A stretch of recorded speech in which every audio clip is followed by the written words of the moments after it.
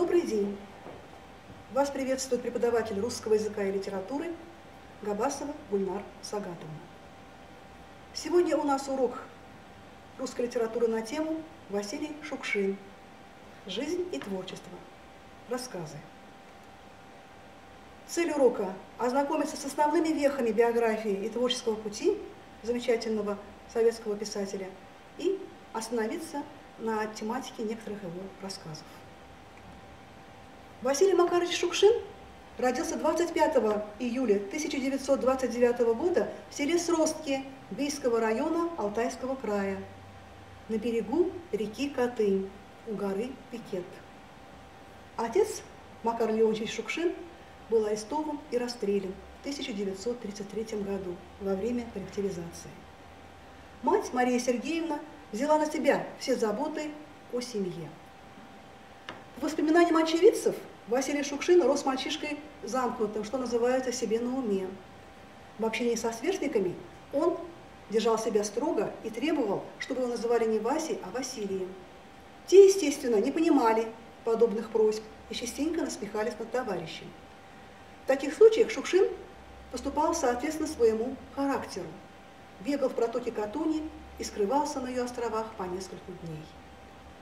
В 1944 году Василий Шукшин окончил 7 классов и уже после службы в военно-морском флоте в 1953 году сдал экзамены на аттестат зрелости и некоторое время работал учителем в вечерней школе рабочей молодежи с исполнением обязанностей директора школы.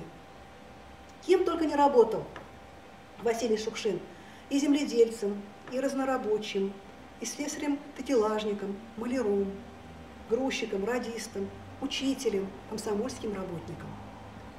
В 1954 году Шукшин решает ехать в Москву, поступать на сценарный факультет Всесоюзного государственного института кинематографии в ГИК. Мать не стала препятствовать в этом желании и сделала все, что могла. Продала корову и вырученные деньги отдала сыну. Придя на сценарный факультет в ГИКа, Шукшин представил на суд экзаменаторов свои рассказы, которые были записаны в толстую амбарную тетрадь. Так как почерк, почерк у Шукшина был очень мелкий, а тетрадь была очень толстая, девушки приемной комиссии э, читать написанное поленились, решив про себя, что этот абитуриент типичный графоман. Однако, чтобы не обижать его, решили посоветовать. У вас фактурная внешность, идите на актерский факультет. Вот что рассказывал бывший сокурсник Шукшина, кинорежиссер Александр Митта. Тут от студентов Шукшин узнал, что есть еще и режиссерский факультет. А он понятия не имел, что есть такая профессия режиссер. Думал, что для постановки фильма собираются артисты и договариваются между собой, как снимать. Оказалось, что режиссер картины – это главный человек, хозяин картины. Тогда он подал на режиссерский. Шукшина взял себе на курс поверивший в него Михаил Ильич Ром. Многие годы Василий Макарович совмещал работу над фильмами с писательской деятельностью. Писал он от руки, ученическую тетрадь, обычно по ночам. Мир любимых персонажей Василия Макаровича Шукшина «Люди с чудинкой». Сборник «Сельские жители», «Там вдали», «Характеры», в которых показано многообразие современных социально-психологических типов, образы странных людей из народа, несущих в себе нравственную чистоту и требовательность к жизни. Герой, первый фильм Шукшина – это «Живет такой парень». Герой – простой парень со своими радостями и бедами, с открытым сердцем, широкой натурой, задушевностью, соль свойственными русскому человеку. Фильм Шукшина «Живет такой парень» получил международное признание на 16-м международном венецианском фестивале. В 1972 году Василий Шукшин снял художественный фильм «Печки-лавочки». В нем участвовали его жена Лидия Федосеева Шукшина и маленькие дочки Маша и Оля. Два Федора, 1958 год, «Комиссар», выпущен в 1987 году, «Озеро», государственная премия. Они сражались за Родину.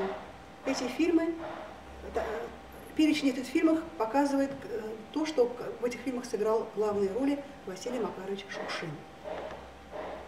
Как уже упоминалось, живет такой парень. А, удостоен был Золотого, Золотого Льва на кинофестивале в Венеции, «Ваш сын и брат», «Странные люди», «Печки и лавочки». Особенный фильм его судьбе «Калина красная», который удостоен Ленинской премии посмертно. Подробнее остановимся на рассказе «Космос. Нервная система и шмат сала». Большое количество своих коротких рассказов Шукшин посвятил тематике взаимоотношений городского и деревенского типа сознания. Он рассматривал эти отношения в самых разнообразных ипостасях. Для его времени весьма характерным был типаж человека, который стремительно работал для того, чтобы вырваться из деревни и стать кем-то в городе. Именно таким является молодой, но весьма сознательный парень Юрка, которому пришлось рано повзрослеть, в том числе для того, чтобы двигаться к собственной мечте, выучиться и поступить в медицинский институт. Как обнаруживается далее из самого рассказа, этот герой обладал довольно высокими порывами, так как вполне мог бы оставаться работать шофером в деревне, который получает больше, чем доктор. Тем не менее, для Юрки имеет значение не только зарплата, но и служение высоким идеалам человечества. Он легко грезит о покорении космических просторов, о людях, которые могли бы жить до 120, общаться с представителями инопланетных цивилизаций. Соседом Юрки является Наум Стегнеевич, пожилой и скупой человек, который, в свою очередь, представляет сверхконсервативное и довольно примитивное сознание. Он живет практически только для себя и не считает актуальным для людей учиться и прогрессировать куда-то. Хотя герои обладают практически противоположными взглядами, они много общаются, в основном по инициативе старшего, так как тому нужно с кем-то говорить. Периодически Наум Сергеевич напивается и после этого мучается в похмелье. Такую сцену и описывает рассказ. Чтобы облегчить симптомы похмелья, старик начинает общение с юношей, и тот рассказывает ему об академике Павлове и выработке различных привычек. Юрка убедительно и аргументированно советует Науму Стебнеющу в следующий раз начать вырабатывать полезную привычку и не посещать после пенсии магазин. Ранее старик никогда не давал просто еды своему сожителю, хотя и понимал его бедственное положение.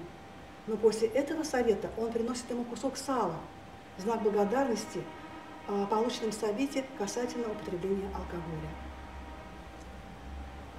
Умер Василий Макарович Шукшин 2 октября 1974 года в возрасте 45 лет. Этот писатель оставил огромный след в советской литературе. Относится а, к так называемой плеяде деревенских писателей.